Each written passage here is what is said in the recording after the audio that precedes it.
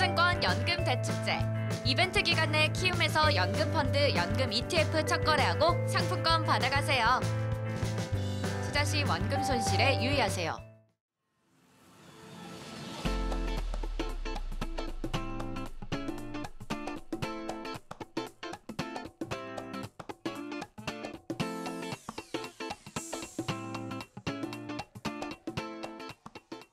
전일 특징주입니다. 어제 우리 시장에서 어, 외국인과 기관 그리고 키움증권의 수익률 상위 고객분들이 주로 매매했던 종목들 살펴드리는 시간이죠.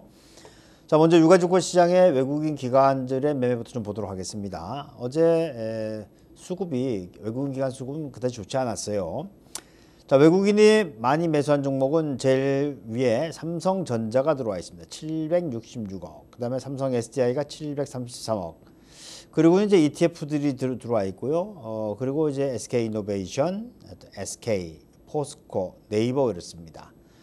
결국 이제 반도체와 2차 전지 이렇게 좀 볼 수 있을 것 같고요. 매도는 신한지주, KB금융, 삼성전자 우선주, 삼화알미늄, LG화학, 현대차, 셀트리온.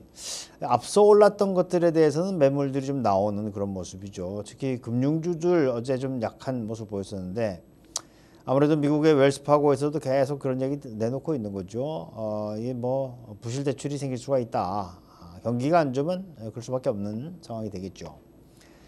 자, 기관 투자가들이 제일 많이 매수한 것은 SK 하이닉스입니다. 아, 576억 샀고요. 그 밖에 아, 네이버, SK 이노베이션, 또 LG 전자, LG, 예, 포스코 케미칼, 여기도 이제 2차 전지, 예, LG 전자는 뭐 그렇지 않지만 아, SK 이노베이션이라든지 포스코 케미칼 이런 것들 이제 2차 전지와 2차 전지 소재 관련주들 아니겠습니까? 그렇죠?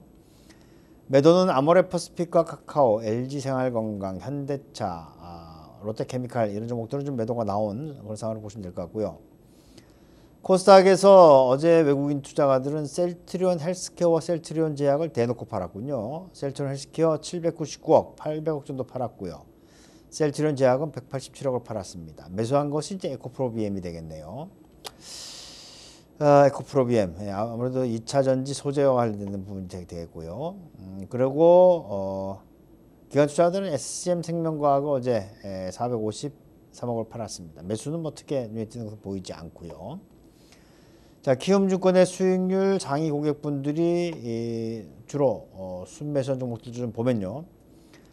아, 신풍제약과 시젠 그리고 SK, 에코프로비엠, 두산인프라코아, 종근당 여러 종목들이 좀 눈에 띄는 매매들이 되겠는데요.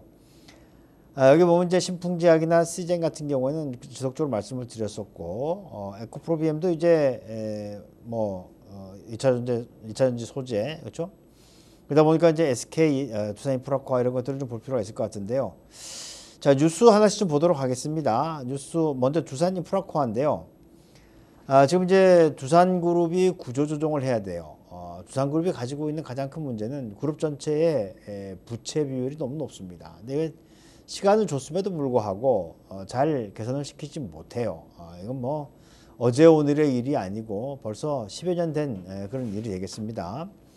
근데 이제 산업은행에서 어, 충분한 시간을 주겠다. 자구안을 내라. 자구안을 에, 이렇게 얘기했었는데요. 두산그룹은 이제 연일 주요 계열사 매각설에 시달리고 있다. 뭐 사실은 좀그돈 되는 것들 팔아야죠. 어, 이렇게 경기가 안 좋을 때는 돈 되는 걸 팔아서 그룹을 살리는 예, 그런 그 상황이 되겠는데요. 아, 두산 측은 두산중공업 경영 정상화를 위한 자구안 마련을 위해서 당초 두산솔루스, 두산퓨얼셀, 두산건설 등 일부 계열사와 골프장, 아, 서울 동대문, 두산타워 등 비핵심 자산을 매각하는 방, 그 방안을 어, 추진해 왔었는데 근데 결국은 이제 시장에서는 이런 거 내놔도 안 팔리는 거 어떡하냐. 그렇다면 실제로 팔릴 수 있는 두산 인프라코아를 내놔라. 아 그냥 그죠. 어, 이게 뭐 어, 이거 그 삽질의 대가 아닙니까? 두산 인프라코아 아, 삽 100개를 가지고 해도 굴삭캔을 당하지 못하는 그런 상황이 되겠는데요. 결국 이제 두산 인프라코아에 대한 매각설이 나오다 보니까 두산 인프라코아가 좀 올라갔다. 보시면 될 것 같고요. SK는 우리가 그 사이에 계속 말씀드렸었습니다. SK 바이오팜 상장이 되면은 SK가 아직 그 지분을 다 가지고 있기 때문에 충분히 지주회사로서 어 저기 그 올라갈 것이다 이렇게 그 보는 것이죠. 아, 이건 뭐 어제 오늘의 일이 아니기 때문에 에, 그 정도로 간- 간략하게 뉴스 어, 살펴드리도록 하겠고요. 차트 좀 보도록 하겠습니다. 자 먼저 두산 인프라코어예요. 어, 매각설 실제로 매각이 되는지는 지켜볼 일이죠. 어, 왜냐하면 두산 입장에서도 두산 인프라코어를 떼내고 나면 돈 버는 데가 별로 없을 것 같아요. 어, 그좀 지켜볼 일인 것 같고 어, 일단 어제는 예, 그 윗꼬리를 크게 달았습니다. 어, 이런 걸 이제 어떻게 설, 설명해야 되나요? 아무튼 저기 그, 어, 그 스- 스타가 하나 그 나왔는데 위축골 다른 그런 상황이 돼 있고 SK 같은 경우는 이제 에, 급등한 이후에 옆으로 기고 있죠. 이제 만약에 단기적으로 올라가는 추세가 맞다면 에, 오늘 다시 예, 상승을 해야 됩니다. 아, 왜냐하면 이제 5일 전이 가파르게 올라오기 때문에 그런데요. 그렇지 않다면 아, 좀그 시간적으로 조정을 받을 가능성을 배제할 수 없다. 이렇게 보시면 되겠습니다.